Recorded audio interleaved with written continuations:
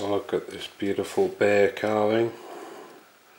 Carved out of boulder opal with a beautiful shield.